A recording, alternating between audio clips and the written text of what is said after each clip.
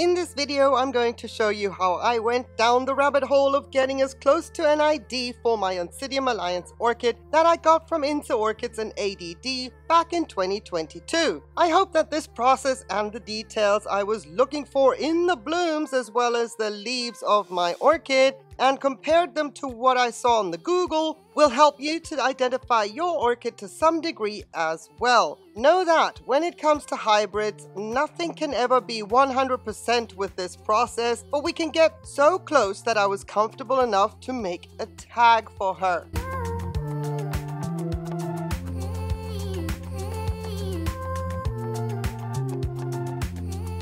Thank you for clicking on this video. I appreciate you carving time out of your schedule to spend it with me and the channel. Now, having a channel was an advantage, of course, because I posted some images on the community page and asked if anyone would give me a heads up on the ID of this orchid. But even if you don't have a channel, maybe you're on Instagram, Facebook, or Twitter where you can do the same, plus many other platforms you may be on as alternative to YouTube. It is always a good start to see if anyone can give any leads, and it's probably a time saver as well. Best case scenario would be if someone comes right out of the gate and gives you the ID without you having to go digging any further.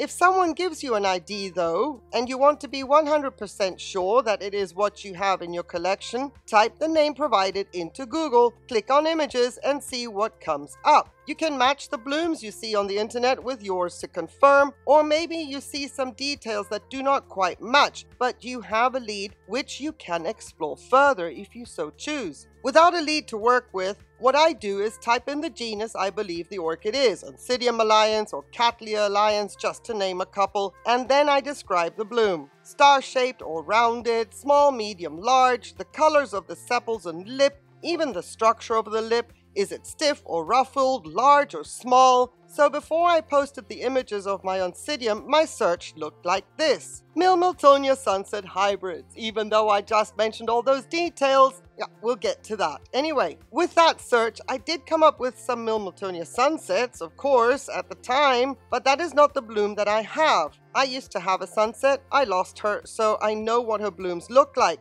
especially with that waterfall detail in the lip, which is so distinct. I also know what the orchid looked like and that it is not what I have in bloom here. I also know what the leaves and the pseudobulbs look like and that is not what I have here. However, because of the striking similarities to the Mil Miltonia sunset, I figured that it would be my best go-to. Despite color forms being different and it could still be the same orchid, the differences being so stark with the colors of the petals and sepals of the one that I wanted to identify, as well as the coloring of the leaves, it was clear that what I had was not a sunset. Close, but no cigar. If you do not have anything to compare with as a start like I did, the memory bank of the Mil Miltonia sunset, type in the details of the bloom, the genus you think your orchid is, as I mentioned earlier, and see what pops up. So after having done an initial search, I went to social media, posted the images to the community post, and then I had several suggestions, one of them being repeated in several comments, and thank you to all those that did leave comments, much, much appreciated. So there I got the lead that it could be a hybrid with Miltonia regnellii as a parent. And from there, my search changed to the following Miltonia regnellii hybrids. And well, again, I got Miltonia Sunset or Mil Miltonia Sunset and a lot of them. So you can imagine my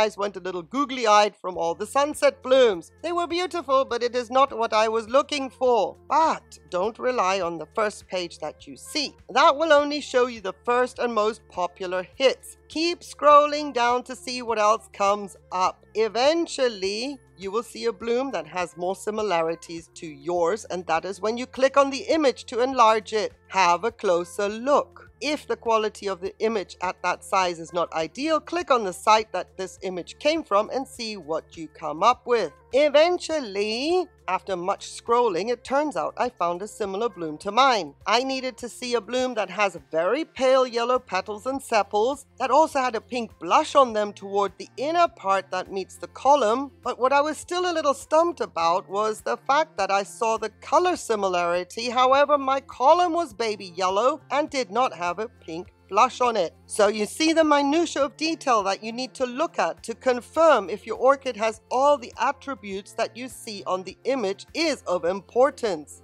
But despite that little detail being a little off, I had a name that I had not seen before and it started with Honolulu. Shout out to everybody in Maui that was affected by those devastating fires. I watched it. I hope that you are doing okay. Know that you are in my thoughts.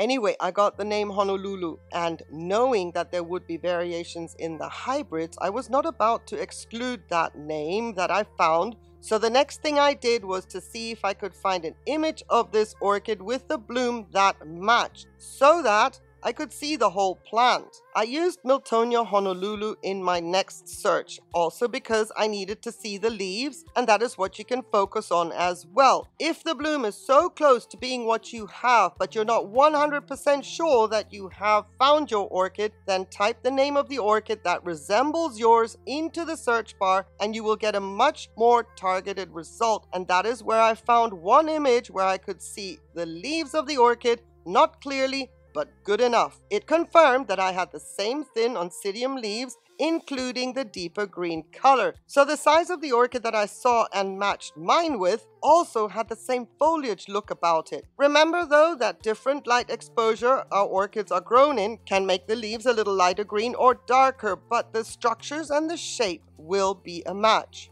Turns out I was eager beaver and it took me a little longer to narrow down what my orchid was because of that pale yellow column that I had initially. And the pink column in the images I saw on the Google threw me off. If I had waited a couple of days longer to search for the ID of my orchid, I would not have had to look that much further but it is a good example of what you can do to double check any discrepancies you may see in the bloom by looking at the structure, size, and color. So, lo and behold, a couple of days later, the blooms of my orchid matured and the pink blush around the column appeared. The pale yellow disappeared. Without having any official ID done on this orchid, I am 99% confident that I have a Miltonia Honolulu by Naughtii. One last search or confirmation step was me going to Orchid Roots, typing the name in in full, and seeing what came up. The results on that page prove that there can be varieties of the same orchid with different characteristics in the bloom, but the variety that I have is also clearly represented here. Now, there are many other avenues you can take to find the ID of your orchid, but I hope that the layout of how I went about it gives you a starting point, just in case you find yourself in a similar situation. Also, if you have looked into finding the ID for your orchid and have additional tips that you would like to share, please do so in the comments. Thank you. And would you please like the video? I would appreciate that so much as well as subscribe to the channel if you're not subscribed. Thank you for your vote of confidence as well. And last but not least, thank you so much for watching. I wish you a fabulous day on that one condition though please, that you stay safe. Take care. Bye.